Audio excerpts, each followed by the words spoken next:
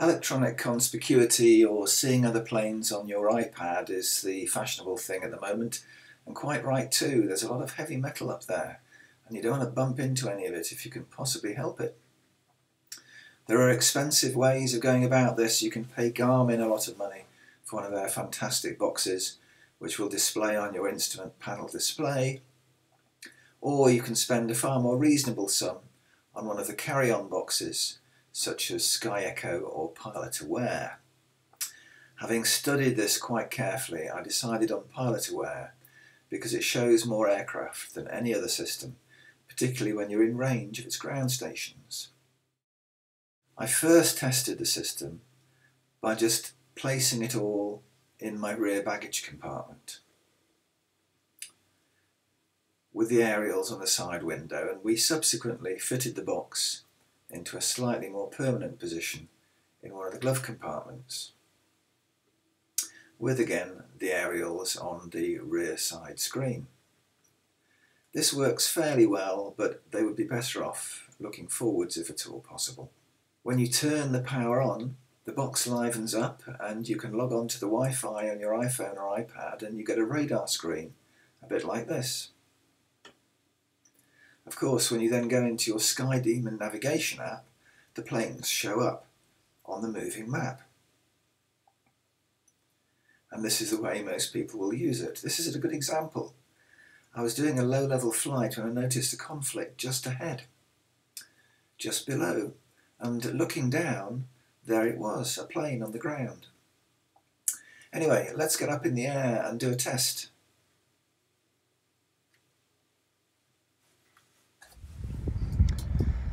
Biggin Hill on a lovely sunny morning. And it's the first morning that we can fly after lockdown Mark 2 so here we are. It's been quite a few months since the plane last flew and so the navigation database needs to be updated and that's the first job.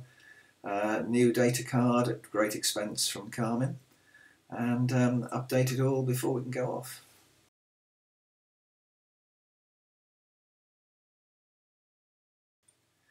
Job done, everything's current as it should be, and so off we go.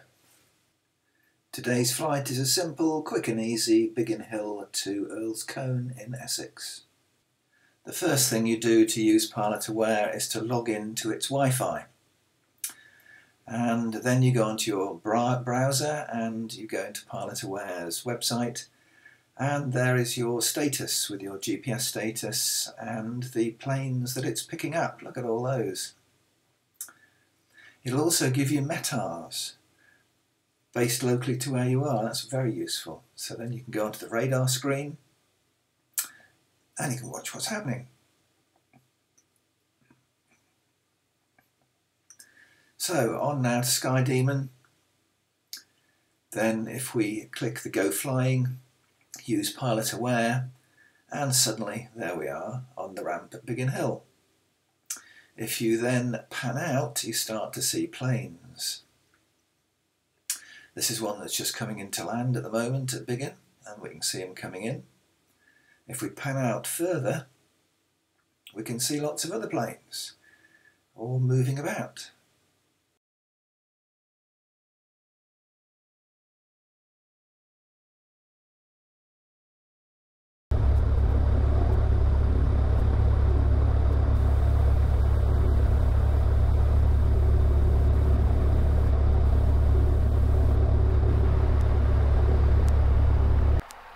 India, hold Alpha 1 ready for departure. Contact India, hold position, squawk 7047. 7047 and holding Tango India.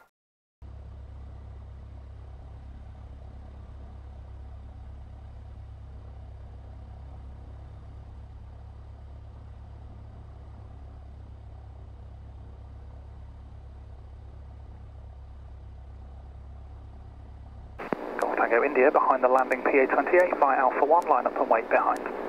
Line up and wait behind via Alpha 1 after the landing, tango again.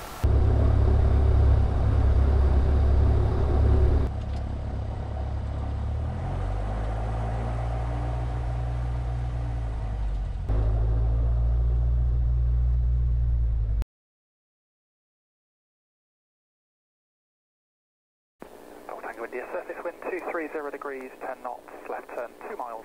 21, clear for takeoff.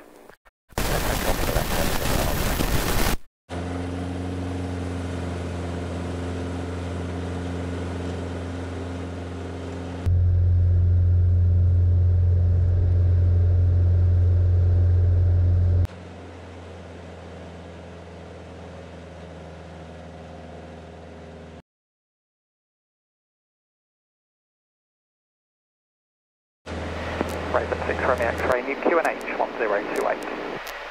1028 Raven 6 Romeo X-ray.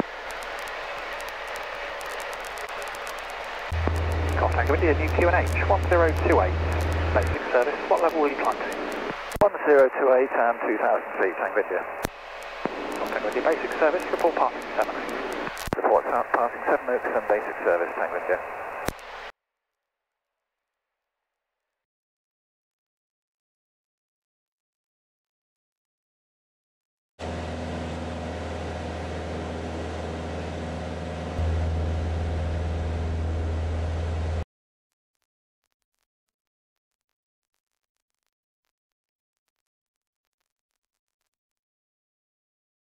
Well, there's no other aeroplanes about just at the moment, but we'll be keeping an eye open for that.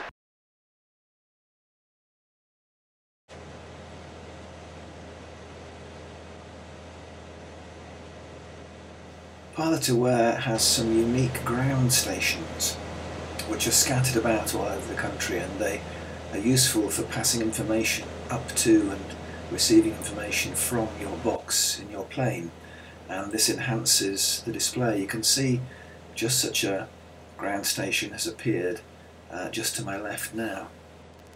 Golf Tango India, north of beam Sevenoaks, 2000 feet. Golf Tango India, Roger, are you leaving the frequency now?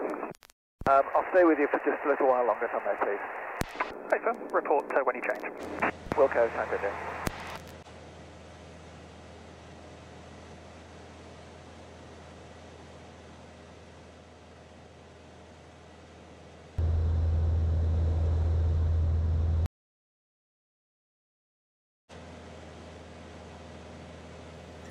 We're seeing here is interesting because the machine is picking up a bearingless target which is just 100 feet above me. It's a mode C or a mode S transponder so the system can't say exactly where it is but it can say that it's nearby which is a help but not as much as a help as you perhaps might like. But hang on a minute, we've just been picked up by that green ground station and so we can now see that in fact Golf Juliet Sierra Foxtrot Charlie, which was somewhere around us, uh, is actually passing by our right hand side. That's helpful. This is good, but as Golf Foxtrot Charlie goes out of range of the ground station, then uh, it disappears off the radar screen and we're just replaced by the yellow circle. Golf Tango India approaching the Dartford Bridge and to en route frequency. Two stations at once. Golf Tango India, squawk conspicuity, free call en route, bye bye. Conspicuity en route, thanks for your help, bye-bye.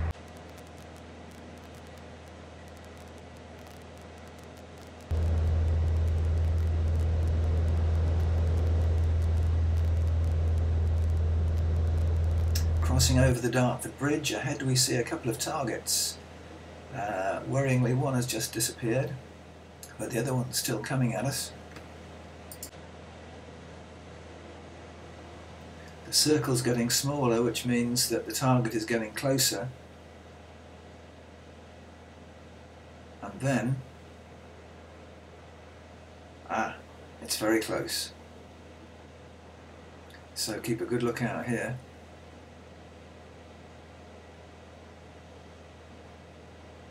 but it seems to have gone past.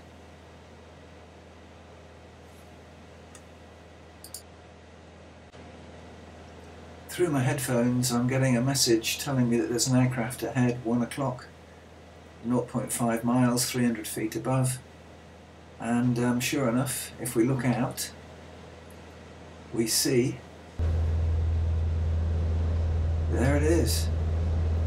As the aircraft has gone past, it's no longer a threat, so it's turned green on the screen.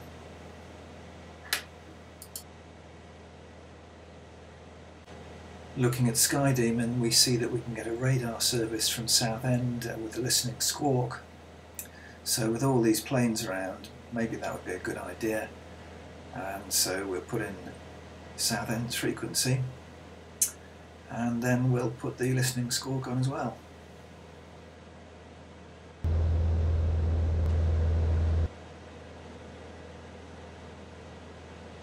Staplewood 18, Scott Zulu 1026, request radar vector ILS, Maldon 2,200 feet. 618 Southend direct, check coach 7 radar, good afternoon. Squawk 4575, what service outside controlled airspace? 4575, traffic service outside Staplewood 18. Six one eight identified traffic service reduced due to 11 distance from Southend, possible late warning of traffic. Confirm flying IFR or VFR. IFR traffic service, Staplewood 18. 1 o'clock, 2 miles opposite direction, 2,800 feet, this is Cessna 152, inside controlled airspace. Copy the traffic and visual, Golf Echo Oscar. It's astonishing how, when you're in the air, how few other aircraft you see, despite the fact that there are so many around. Uh, that last one was actually the only one I've spotted whilst in the air. Sign only, 128.965. 128965, stay. Yeah, so this is telling me that there's an airliner straight ahead, uh, 7,000 feet above me, and there it is.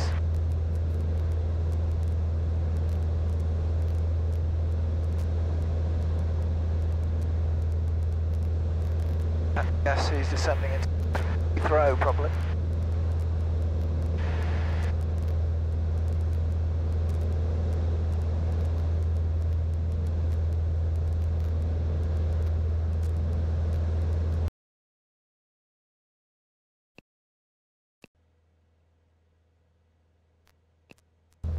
We've got a yellow circle of proximity around us now, which has just turned red, and I think it's due to that plane on my right, which is approaching us. I think this is the case because as the plane passes behind us and ceases to become a threat, so the uh, red circle vanishes.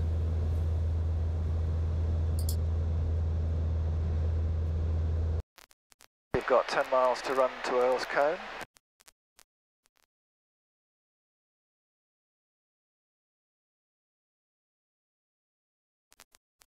Earl's Colne, good afternoon. Golf Mike Oscar, Tango India. Golf Mike Oscar Tango India, this is Earl's Colne Radio. Your readability 5 pass message. U5 is also at Tango India inbound from Biggin, 1,500 feet on 1028. Currently 8 miles to run from the southwest. Request joining and landing, expecting to join downwind, left hand for 24.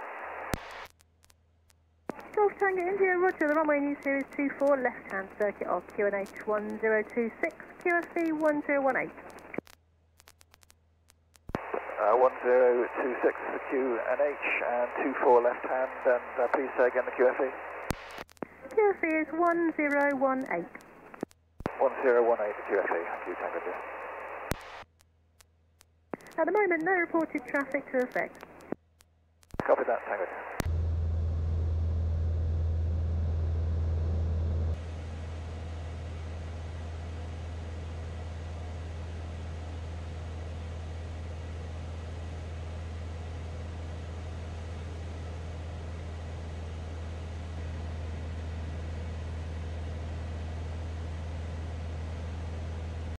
Uh, just about to join downwind.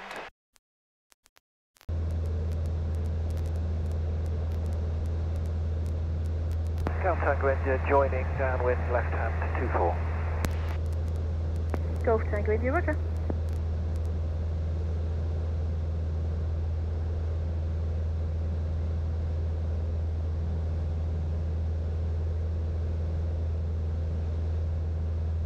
That there is Earl's Colne on our left wing.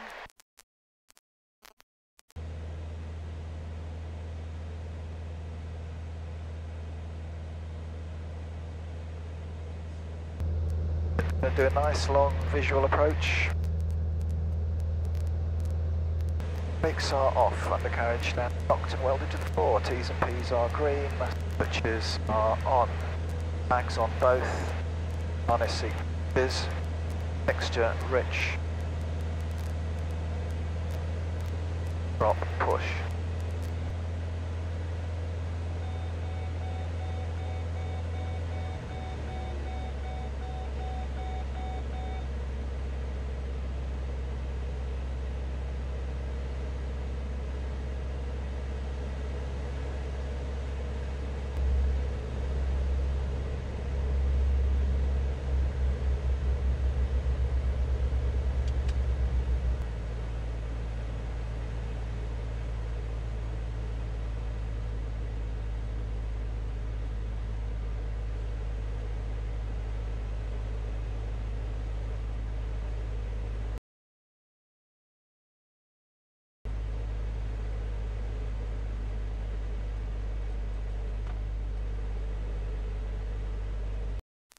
Golf Tango India turning final 24.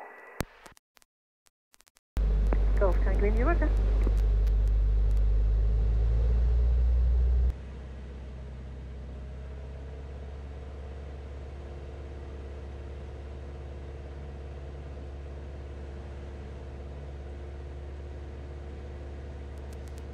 we go, getting a very nice guidance for the visual approach.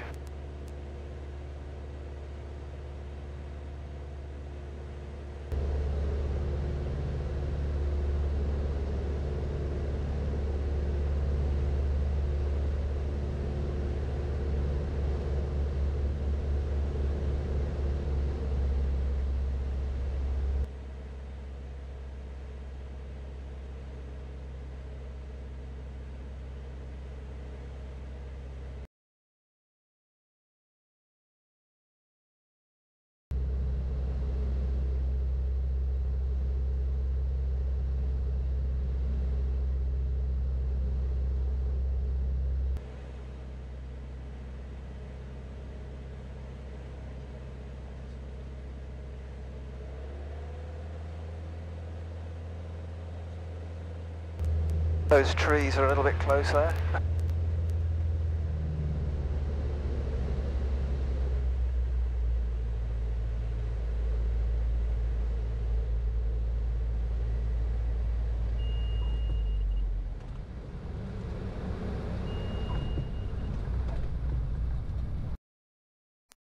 Oh, there we go.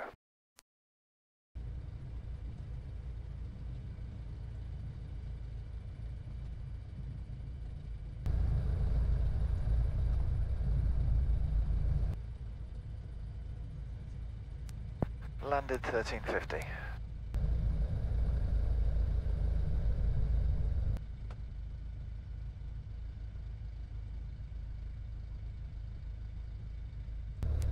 And Tango India request parking for just uh, 20 minutes. Golf Tango India, uh, are you happy on the grass, sir? Yeah, sure, sure. On the grass, you'll see there's a PA28 white blue, and if you want to park next to him, that'd be great. Welcome. So, what's the conclusion? Well, PilotAware is very good. It's not perfect. Uh, it could show the planes a bit better sometimes, particularly when they're only mode Charlie or mode Sierra. Uh, but no doubt it'll improve, and it's very good and I think worth having. And for more information, please see the links that I've put below, particularly a very good article in Flyer magazine.